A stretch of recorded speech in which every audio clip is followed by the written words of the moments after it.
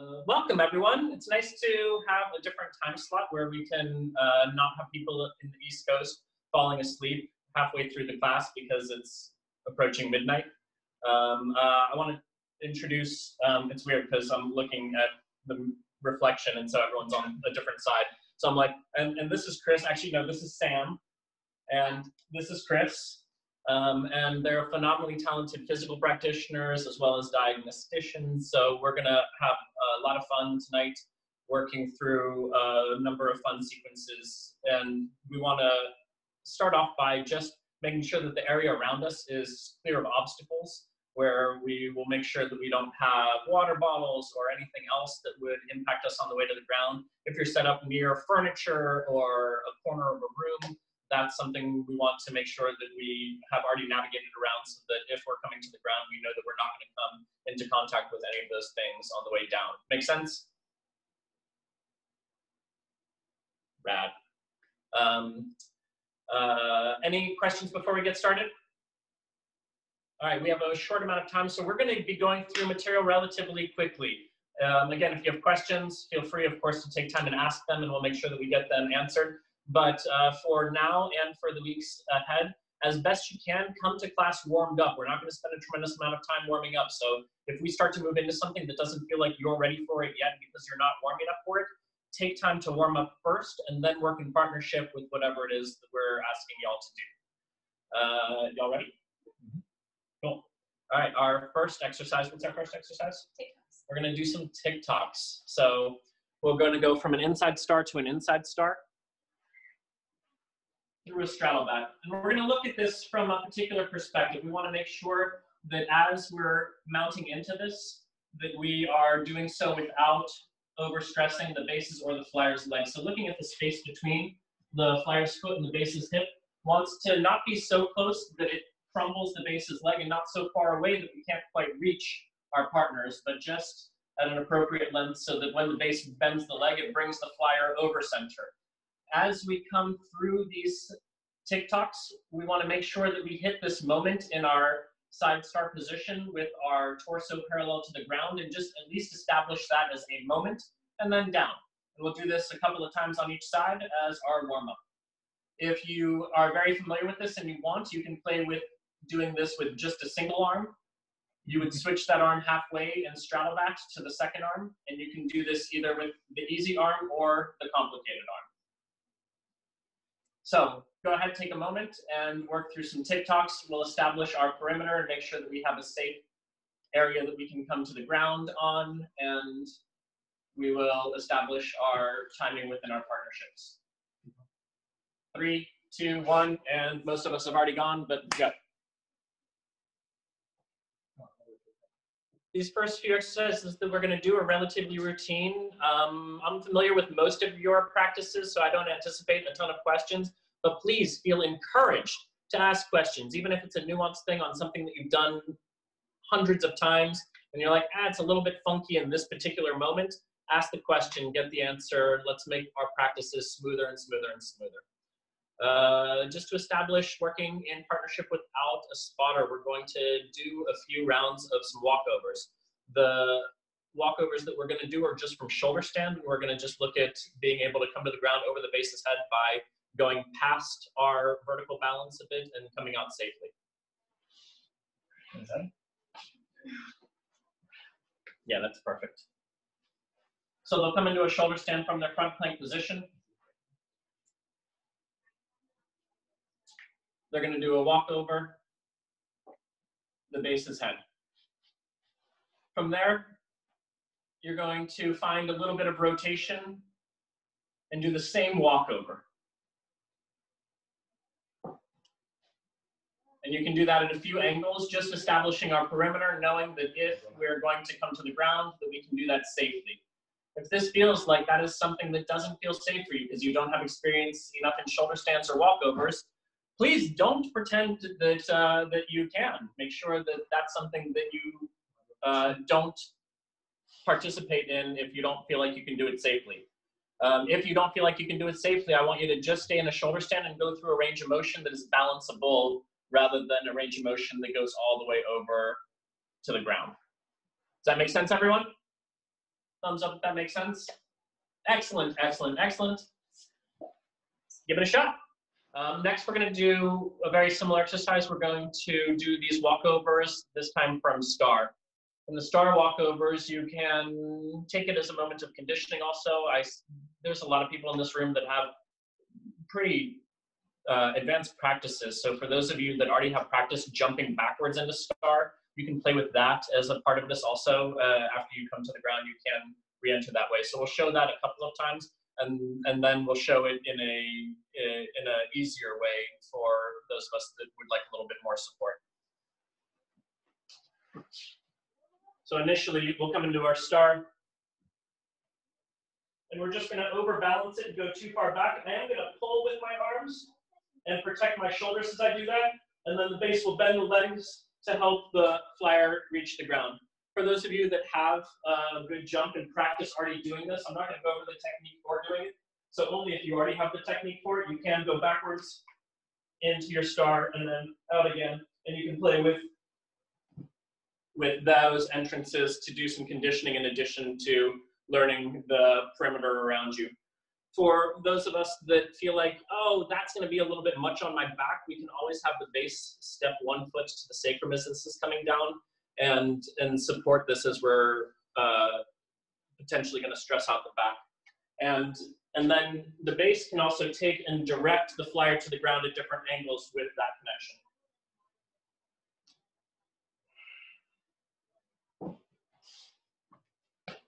If you are playing with that variation, don't kick your base in the head, number one. And uh, number two, you can take a moment when the foot comes to the sacrum to potentially release the hand grip. Even if you don't let go completely, you can soften it and see if you can balance just with one foot on the shoulder and one foot on the sacrum.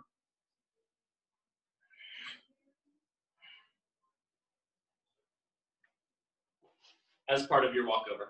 So any of those variations that work for you to do some star walkovers, uh, completely free of the foot, entrance on either side, all types of variations, but please make smart decisions about what works right for you and your partners today uh, without a spotter, with as much calibration as we've done, as much calibration as you've done over the last who knows how many days. Be conservative, work on variations that feel appropriate for the two of you. Sound good? Three, two, one. Um, I promise you in another class, we will work on the technique just for that jump backwards into star. Uh, it's a really fun class that has a bunch of different variations that we'll play with in one of the upcoming weeks. And everyone will become champs at that backwards jump into star through it. Uh, for now, we're going to go from a... We're going to just mount into a front plank on hands. A front plank on hands with the range of motion, yeah? Yeah. All right. Can you show them your hips? Close the camera really. Uh, yeah, do you want to do your head close? Uh, yeah.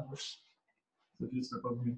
So bases, a lot of times people instinctively want to fly this with fingers out to the sides, but we don't have nearly as much control that way because we don't have the paddles of our hands to help balance. So really, your tendency is probably going to be to go out towards the hips, out around the hips, but try to keep your fingers a little more close to parallel, and that'll give you a lot more control to balance this and make the flyer feel uh, a lot safer as well. So, do you want to turn the side? You're fine. So the mount there, I'm trying to keep my hips open as I come into this, just as we would in from plank on feet. Uh, and I just had to straddle to make that possible. And then once we get into this uh, front plank on hands, we're gonna do a little range of motion with twists. And then if the base can tap the flyer's shoulder across their body, We're going to look at bringing one foot to the opposite shoulder as we rotate. Yeah, just do hands to start with because um, it can be a little tricky if you haven't done this exercise before. But if you feel good with rotating with just hands, then start adding one foot at a time as well. Base is making sure that we're extending through the shoulders to get more rotation as we extend. Um, can I have a thumbs up if we've already done front plank on hands? This is an exercise that we're familiar with. Phenomenal, phenomenal, phenomenal. Prove it. Three, two, one, your turn. Next, what we're gonna do is a dragon lever. dragon lever, what we're looking for is to have a really good foundation on the connection point between the base's shins and the flyer's shoulders. Uh, so we're going to try to establish that not very close to the clavicle. We're going to let that come more on the back of the body as we reach our arms up overhead for the basis feet. We're going to show this in a moment, but just want to make a point that this is where we want the pressure to be, not up here. Apply this one? Sure. Um, I can base it.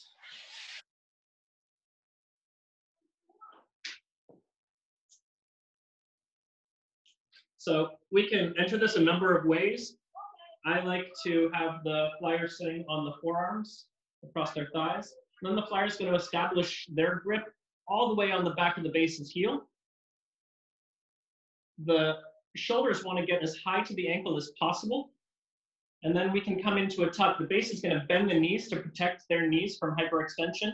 And then we can support the flyer's hips as we come into balance here. As the flyer feels like they have a strong enough pull, we can start to release the hips and the flyer can start to extend out as they lower into their dragon or move toward an inversion. Simple as that. And um, and one of the things we want to make sure is, is that the base's feet are quite strong. And so if we, our feet are connected to our flyer's arms and we push really strong with our toes, we're going to disconnect our flyer's hands from our grip on the foot. So I want to make sure that if I'm pushing, I'm pushing through the center of my foot and through the ball of the foot, not through the toes themselves. So just making sure that I'm giving support without disconnecting my flyer's grip. With that same connection, it's really important as a base not to not to curl your toes. The forearm skin is quite tender there. You dig your claws in. Just relax the toes in this position. Um, any questions there? Nice. These are good quick rounds, so uh, you know we can try to get through a decent amount of content in a short amount of time. Three, two, one, and here. We're going to look at taking the same grip, going into an inversion, and then let's take a look at a few different outcomes moving toward one, but we're going to start off with one that just gets the flyer comfortable going upside down, and even just landing on the ground next to the base's hips will be our first variation. show the ground first. Yeah, show to the ground first, and then I'll fly one that's going to stall, and then you fly one that goes to front.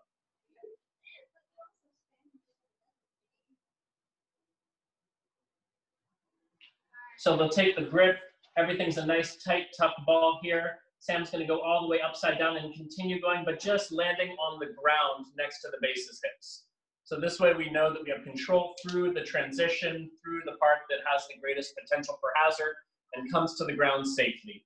And so everyone should at least establish that as the baseline so that we know that we can start to play with different things from there. Um, for those that want to play with a little bit of a flex, you know, like Matt and Rachel,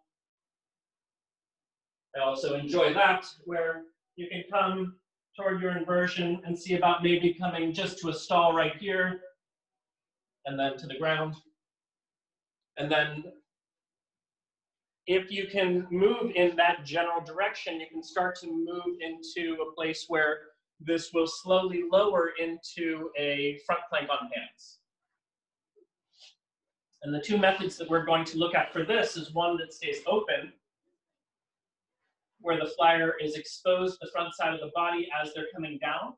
So very similar to the one that I just demoed, but this one actually comes all the way to the front plank on hands. And then if it feels a little bit challenging to open up that soon, we can do one where we stay in a much tighter ball. And muscularly, this should be more accessible for those that are having a hard time laid out fully. So we'll show those last two again. One that is laid out, that goes to the front plank on hands, and one that goes more tucked through the transition to the front plank on hands.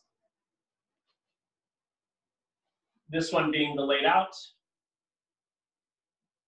The shoulders are established, the grip is established, the inversion is established, and on the way down, the flyer opens up the whole front side of the body, the base catches the hips as the descent happens. And then the last one again, Chris, will you walk your hands up?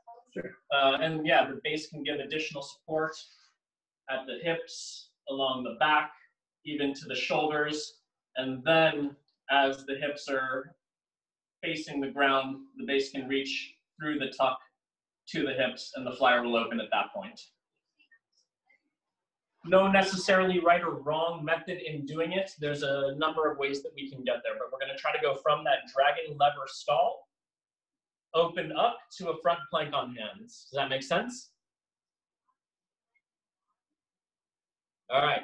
I've had we've had zero questions this entire time, really. Uh, or maybe sorry, we've had one. We've had one. We've had one. Um, but if you have questions, please ask. Any questions? All right. Three, two, one. Yeah, just as you're coming down, your feet are slightly ahead of your hips. So lift your feet just a little bit so that they come down after the hips. Groovy. Next one's going to be relatively straightforward, but it does have some potential for hyperextension of the wrist of the base. And so we just want to take a look at making sure that we can get into this pose, establish where the connection between the flyer's hips and the base's hands are, so that the flyer knows how to protect the base's wrists and the base knows how to help protect their own wrists. Cool. Yeah. You want to talk it? Sure. Do you want to talk? Uh, why don't you talk about your rolling technique first? Okay, so we're gonna basically go from an inside star on feet to a reverse inside star on hands with base support. I- I already have my grip. I'm already reinforcing my own uh, landing point here. So the base lowers the flyer down when my hips are even, then I'm gonna transfer weight slowly to that other side. Open my chest up. I can use this hand to support. And just making that transition. Yeah, uh, for me, I'm really thinking about not wanting to allow my own wrists, my own fingers to get flexed back too far. So the way I'm bracing, I, I mean, there are a variety of ways you could do it. Pick whichever one's more, more comfortable for you. But I'm using this part of my hand to reinforce my knuckles this way. So watch the fact that I'm not letting my knuckles get flexed back towards me. So they're still kind of elevated. If you feel comfortable here and you want, you can take the hand away. But um, what matters is that we're not allowing too much weight to dump too quickly into the base's hand. Um, and that's why Sam's doing a really good job of bracing against this arm and slowing her own rotational momentum into my hand. And when you establish control there, we'll want to do just a little bit of range of motion the same way we did with front plank on hands with the base bringing their leg across to tap the shoulder. So once I'm stable here, I feel comfortable, I can begin that range of motion. See how far I can go, see if I can tap the shoulder.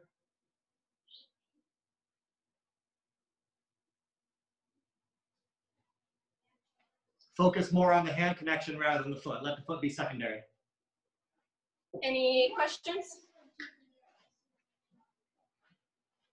Cool. So Is really, that a, is that a question there? oh yeah, Matt. Does it matter which hand I hold with? We want to end up in a reverse inside star. So what Chris had established was that the primary hand establishes the reverse inside star, and the secondary hand supports that hand. Make sense? Okay, so thumb to the flyer's hat. Correct. Um, yeah. If you start in an inside star and the flyer rotates um, on a single axis, you'll end up there if you put your thumb in that direction. Yeah, just for clarity, here's a visual. This is an inside star because the flyer's torso is towards the center line of the base. Uh, her hip is right above that hip. And so I want to reinforce with my strongest hand first on my left side. But this is the main supporting arm. Right. Yeah. That establishes the reverse inside star on hands. The second hand is just to support it. Any other questions? Okay, well, great. Then go kill it. Three, two, one. If you want to do this one on both sides, feel free since it's it's a good workout for the base.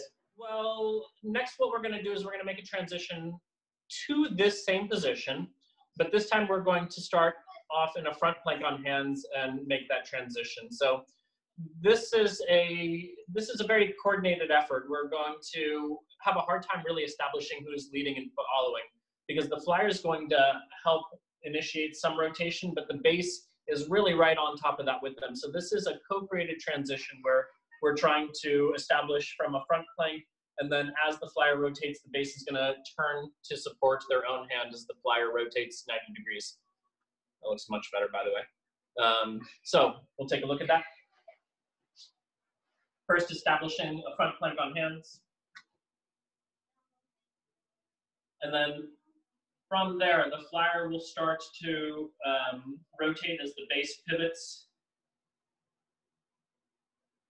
And then the base will turn to support their own hand as the flyer stacks one hip on top of the other. There's a moment during that transition where the flyer has the arm crossed on the base's opposite arm. And so there's a moment that ideally we can find a bit of weightlessness in this transition that the flyer can start to shift the hand in that part of the rotation. And you can see Sam even has one arm that uh, was already established on the arm that the second arm is moving to and just braces off of one to shift the hand. Show that again.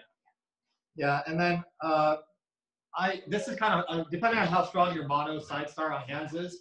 This can be kind of difficult uh, because there is a moment where all of her weight is there's a little bit in my other arm, but 95% of it's in this arm.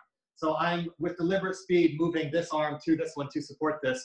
This is where our practice of keeping engagement through the knuckles and not allowing ourselves to get into this vulnerable position here is really important because I, I don't want to, as I call it, Hail Mary my hand over and like trying to catch as we're crumpling and falling. I want to think about uh, pushing up through and being strong for that moment while I'm while we are transitioning my hand slowly to reinforce my my uh, primary hand. There's kind of two things we do to slow the momentum down and decrease the speed so that we don't overpower his one arm. One, Chris is rotating us first, so we don't rotate as we roll. And then I'm pushing into his other arm so that there's still some weight in it as he moves the supporting hand to the main arm. And then just establish so that you can switch your arm to the second Yeah. arm.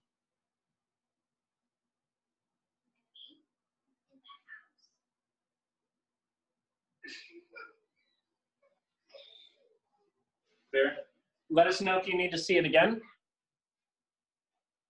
Or if you have any questions. Okay. Okay, we'll look at it one more time. Any questions, anyone? Cool. So the order of operations, here's our bird, we're nice and stable. I'm finding a little bit of rotation first so that we don't have to have rotation momentum as we're making this transition. And then she's initiating rotation into her hip there. And I'm thinking about being really strong in my left arm, my primary arm, and getting my supporting hand to my other hand pretty soon. Any questions? Rad. All right, give it a shot. Three, two, one. We're going to take this into a further rotation, further rotation, further rotation, further rotation, right? So what we're going to do now is establish an anchor as we bring a foot across for the flyer to hold on to. And we're going to use that anchor as a vehicle to help a rotation onto the base's other foot um, from the base's hands.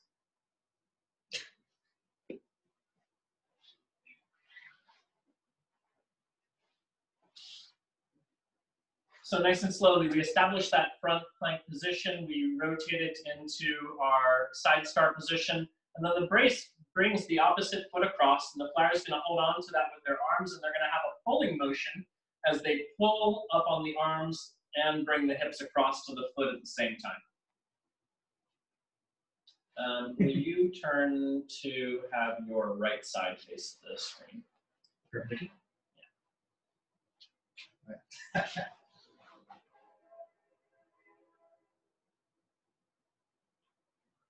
So I'm getting nice and stable here, offering the foot, that's an external rotation. Looking for the hip. If necessary, I can grab this leg. And while it might not seem like much of a big deal, sometimes these grips make huge differences. And so establishing a grip where we have our arms on the blade edge of the base's foot flyers is how we're going to get the appropriate pull as we're making that transition. So the, the first part is just the same as we did in the last drill. I am, this top hand is coming across, this bottom one is the one that's giving me the pull. And now I'm thinking about that cartwheel plane where I kind of am looking up at the ceiling, my feet go towards the ceiling. And I'm down a side start, or reverse side start. And this one can go pretty fast uh, once you're really comfortable with it. Um, be prepared for it to go fast and, and have an escape plan. Let's show this a little faster. It can be a little swoopy, right?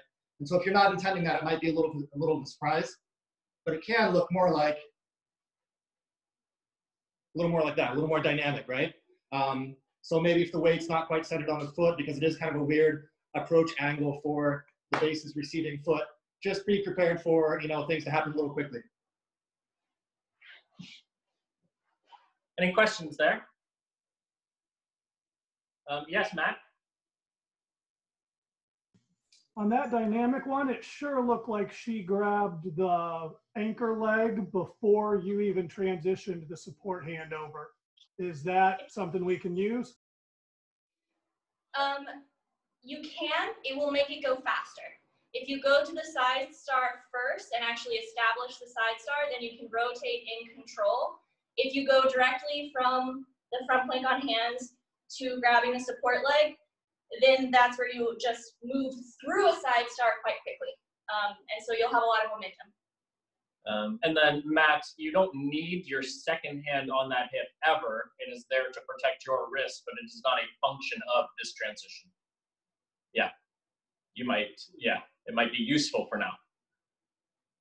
What we're going to do now is, I feel like we've, we've been doing a little bit of pulling. Let's practice our push.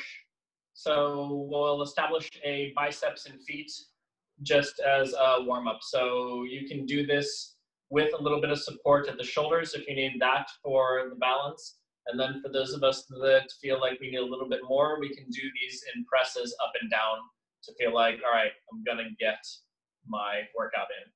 So You wanna, you want me to do with shoulder support first? Yeah, so we'll look at one that has shoulder support. So biceps and feet is a little foreign for you, or if it feels like uh, I'm a little tired today or right now, we can support with the bases, hands at the shoulders, and it's a modified shoulder stand. And then as the flyer pushes well enough through it to move themselves away from the base's hands, they move away from the base's hands as opposed to the base just taking the arms away from the flyer. So that's a just fine method. Let's take a look at that one one more time. So it's essentially a shoulder stand supported and then the flyer lifts away from the base's hands. Alternatively, we can take that into just a mount without the base's arms supporting. And so the base can give positive pressure through the flyer's arms right from the beginning and the flyer pushes down into that and extends from it.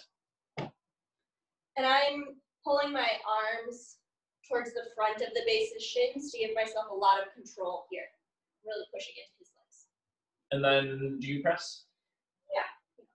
they, they don't look quite as big as yours, but Uh, no, that's a jump. oh, oh, you mean from the Yeah. Yeah, Yeah. we keep your legs. Yeah, so I like this with the base's legs straight, and then the flyer can just press, pushing down through the arms to press the legs up.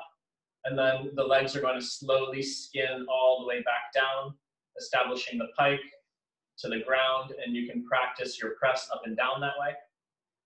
And so through a shoulder supported, a jump mount, or a press mount, we're looking at biceps and feet choose your path. Choose it well and make sure that you don't take just the one that's the easiest. Make sure that you are working through some challenge. And that first one of pressing away from the base's arms in the supported, supported shoulder stand version is plenty of work.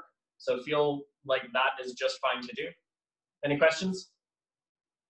Yeah, I don't know if anyone uh, heard Sam's small comment to me, but she, when she wanted to press, she asked for me to keep my legs straight on turtle base, so like bending my legs. Uh, but in, in order for her to be able to press, I need to give her something firm to be able to press into. So if you want to go that route, I do recommend it. It's trying it. Bases keep your legs straight. Flyers get back you. All right, give it your shot. Three, two, one.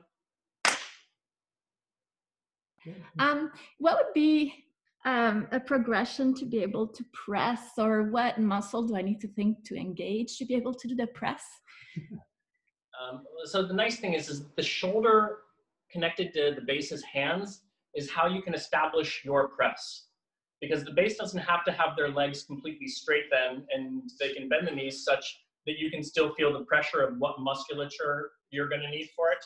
And you're looking at turning on this line here.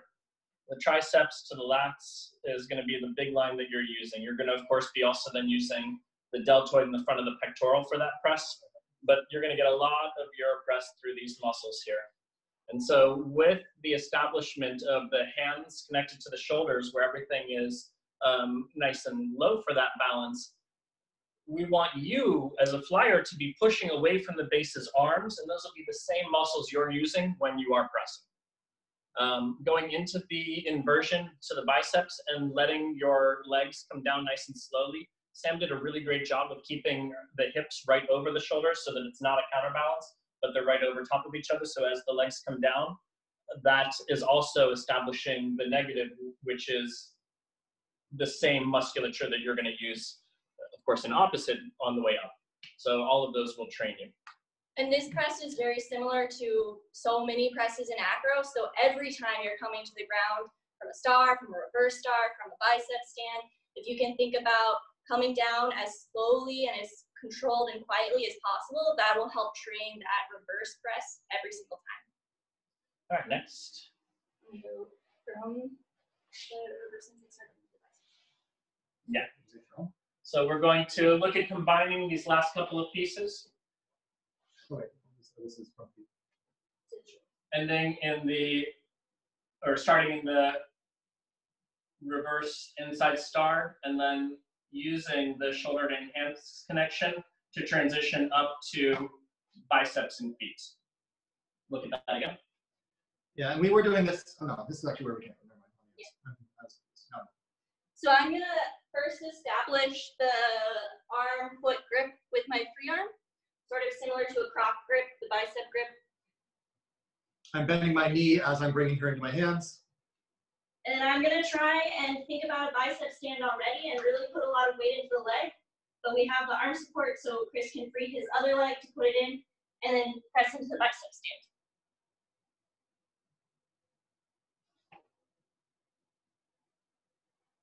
Cool. Once you can start. Um, and are you doing one without the shoulder support? Just very carefully. Um, there may be a few of us that feel like we want to continue to practice our press. If you are going to continue practicing that press, the way Sam just did it is the way I prefer, where we're not transitioning through a croc, but that is an option. You can transition more through a croc and establish that bicep and arm connection. But if you can, like uh, like Sam was just showing, that you establish not only your reverse inside star, the biceps and foot connection comes in and recoils right off of that and then the base sneaks the foot into the second bicep, extends from there as the flyer holds shape. And essentially, it's not completely a one arm biceps and foot, but it will definitely feel that way for the flyer for a moment there. so, again, through shoulder and hand support initially, making sure that we've established uh, redundant support so that this doesn't feel like we're going to dislocate a flyer's shoulder or a flyer doesn't know that they have the ability to stabilize themselves in that moment. And then if you want to start playing it with it after we've gone through it with support, you can then start to play with what does this look like going through a croc or eliminating the croc and being able to press right from the beginning into those biceps and go from our reverse inside star to biceps on feet. Simple is complicated. Any questions? All right. Yeah, Good job. locks, locks, locks, locks, locks, locks. Oh, yeah. Uh, in the bicep stand, basically the flyer keep the shoulders at the same level than the elbows when he's push when she's pushing. Very few people are going to push the shoulders all the way to the elbows. But if you can press to where the shoulders and the elbows are at the same height, great. If you can press that the shoulders are higher than the elbows, great. If you've gone lower where the shoulders are lower than the elbows, it's a different level of complication. But as long as you still have a grip, no problem with it. Got you. Perfect. Thank you. Yeah.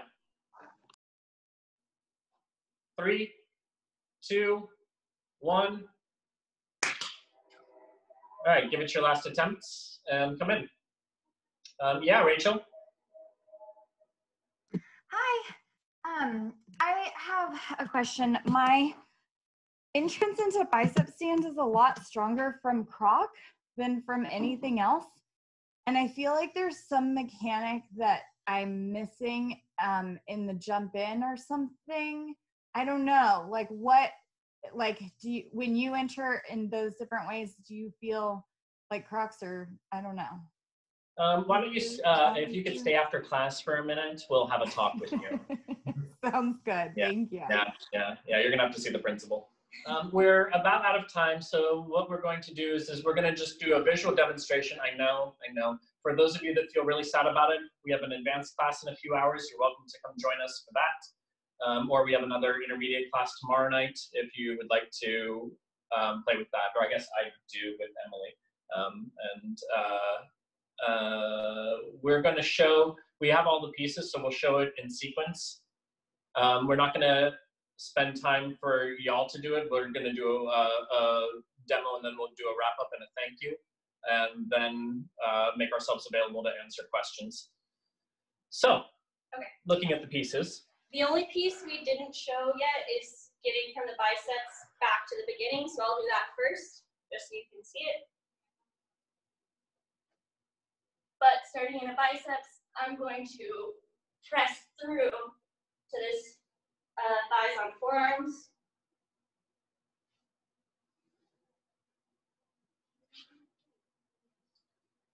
we establish the flip. Whoop. Sorry about that. Sometimes hips move. Let's see, we're- Uh, start at the beginning. Okay.